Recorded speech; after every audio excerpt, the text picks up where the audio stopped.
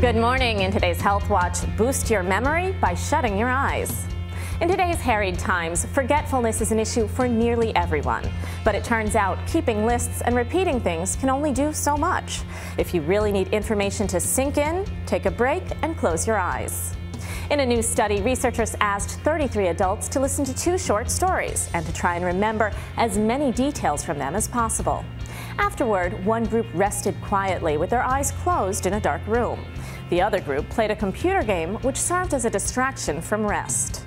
Overall, the participants who took a break after hearing the story remembered many more details than the distracted group, both right away and even seven days later. The new data support findings from previous research that wakeful rest supports neural processes resulting in long-term memory. And we've long known that more deep rest in the form of sleep helps the brain consolidate memories into information we use in our everyday life. Hence, newborns spend most of their days asleep. So whether you want to improve your performance in school or just remember your grocery list, schedule some downtime for perfect recall. I'm Dr. Holly Phillips.